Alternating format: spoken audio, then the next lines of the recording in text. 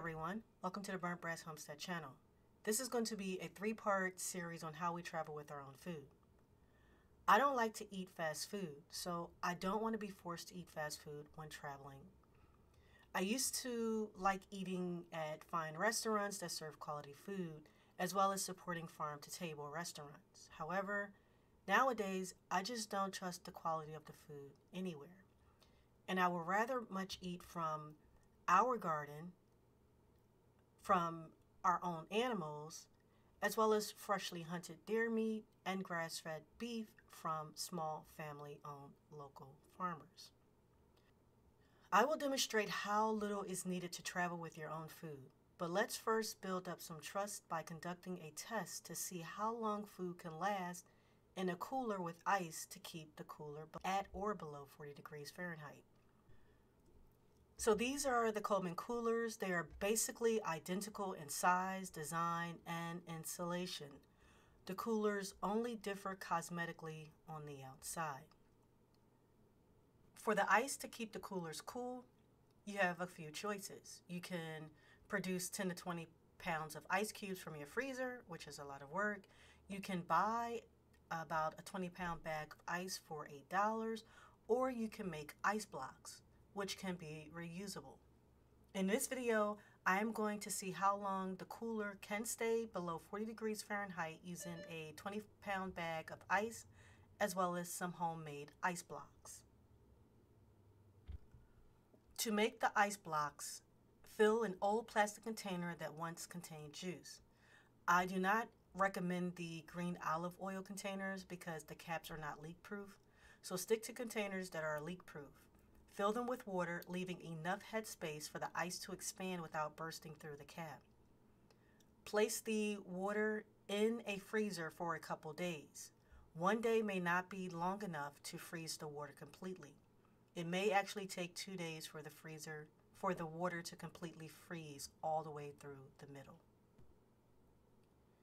Here I am weighing the ice blocks because I wanted them to be about the same weight as the 20 pound bag of ice. However, the ice blocks only ended up weighing about 17.5 pounds, which was close enough for me. So this is day one and it's about 60 degrees outside. Now you should try your best to keep the cooler out of the sun when using it to travel with food. Leaving it in an extremely hot car is also not a good idea. Even though there is some insulation to help keep the inside of the cooler cool, extreme outside temperatures will impact the inside temperatures of the cooler. Now, something like a Yeti cooler that has much better insulation and it's higher quality will perform much better to keep your food cool than these cheap coolers. This is day two. The ice has started to melt, but only by a little. This is for both the cooler with the ice blocks as well as that with the 20 pound bag of ice. The temperature is still below 40 degrees Fahrenheit, so everything looks good. Earlier, I mentioned that I prefer to eat food from my own garden. However, if you don't have a garden, you can just as well buy what you need from the grocery store or pack whatever you have in your refrigerator.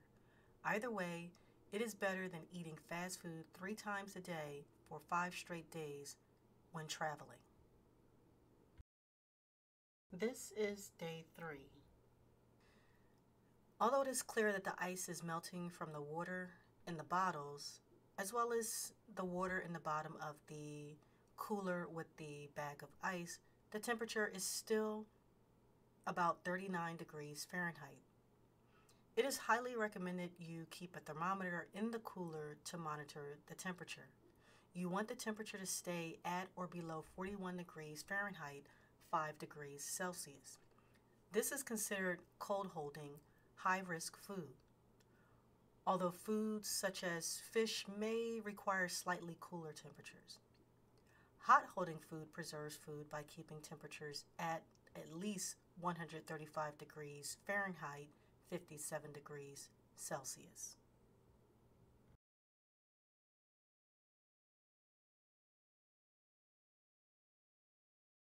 This is day five. I missed checking in on day four. and the temperature inside the cooler is still is still 40 degrees Fahrenheit, but the ice has melted considerably. If you're going to use bags of ice to keep food cool, you will need to make sure the food is in an airtight container or you will want the ice to be in a leak-proof bag. As you can see, one of the disadvantages of using ice bags is that it leaves a pool of water in the bottom of the cooler. Any food that was not in an airtight container would have gotten wet.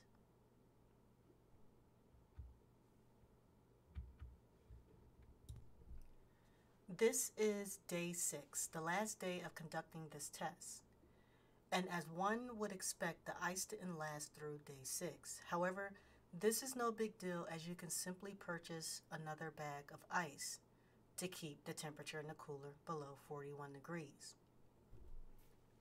Please note that this demo was performed with outside temperatures mostly in the 60s and high 70s Fahrenheit, which equates to 15.5 to 21.1 Celsius. The duration of keeping food cool in the cooler will depend on a few things. One, what food you pack. For instance, packing some frozen foods can help to extend the time the food remain cool in the cooler. Two, outside temperatures will play a role. For example, during the cool season, the inside of the cooler will likely stay cooler longer versus the hot season. Three, the quality of the cooler. For example, a Coleman versus a Yeti. Four, how often the cooler is opened. 5. The size of the cooler as well as how much ice or ice blocks are used. We travel with our own food, so I will share how we travel and cook food on the road in parts 2 and 3. In any event, I hope that this video was useful to someone. Please like, share, and subscribe to help this small channel to grow.